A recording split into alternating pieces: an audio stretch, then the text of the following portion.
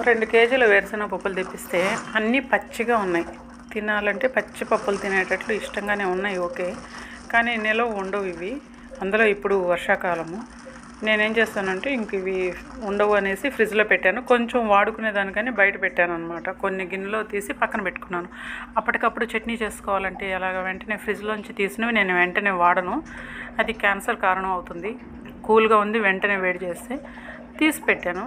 తీసి పెట్టిన తర్వాత ఇవి అలా ఉంచిన తర్వాత రెండు రోజులు అవి చూసేసరికి బూజు వచ్చేస్తున్నాయి.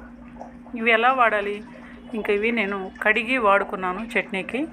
చూడండి మీకు ఇక్కడైతే కనిపించట్లేదు బూజు అయితే వచ్చింది. ఇప్పుడు ఈ పప్పులో కొంచెం లైట్గా తెలుస్తుంది. ఇంతే కాకుండా బయట పెడితే ఇంకో మరొకటి ఇంకో దొంగలు ఉన్నాయి కదా చీమల్లో దొంగలు. అవి చక్కెరకి కూడా పట్టవు కానీ ఈ పప్పులకైతే బాగా పట్టేస్తాయి అన్నమాట ఇంకొకటి చక్కెరలో కూడా తీపు తగ్గిపోయింది ఇప్పట్లో. ఇప్పుడు చూడండి ఈ పప్పుకు చూడండి ఎట్లా కనబడుతుందో. ఇంకా అవి చేదొచ్చేస్తాయి ఇంకా అట్లా అట్లా. అందుకనేసి నేను ఫ్రిడ్జ్లో పెట్టాను. ఈ బయట ఉన్నవి అయితే బూజు వచ్చేసాయి. ఆ బూజు వచ్చినవి అయితే డైరెక్ట్గా వాడకూడదు.